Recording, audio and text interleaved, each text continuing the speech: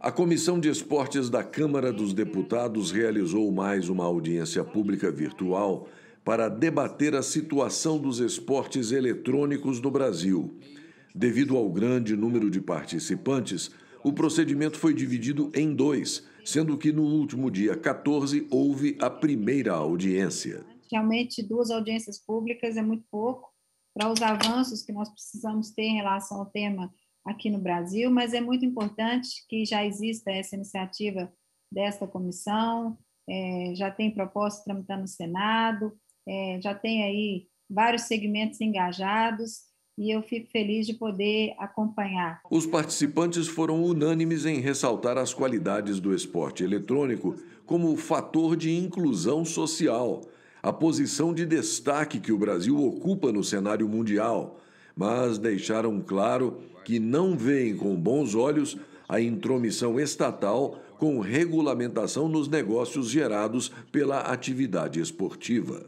O, o Flamengo ele, ele tem uma, uma presença no esportes já faz algum tempo e a gente acredita o esportes como um, um fator de, de aproximação dessa, da torcida mais jovem e é um fator também muito bom de renovação da torcida. Essa é a tendência é, para falar de um mercado que não para de crescer.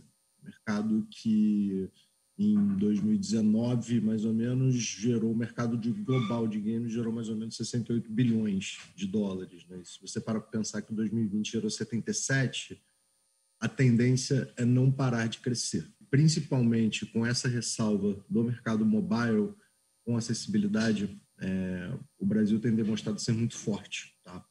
O Brasil hoje é o terceiro maior no mundo em audiência, ele só perde para a China e para os Estados Unidos. Mas é tão engraçado nós sermos a terceira maior audiência de esportes no mundo e ainda estarmos falando sobre regulamentação numa plenária. Ainda estarmos falando, por exemplo, sobre violência, sobre vício é, em jogos e esporte.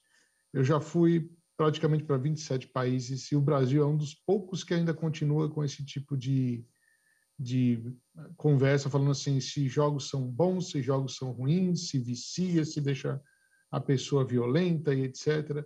Eu acho que a gente tem que virar a página finalmente e, e prosseguir para o que o, o que realmente o esporte é, que é a melhor maneira de inclusão social rápida e prática que nós temos hoje no mundo, ok?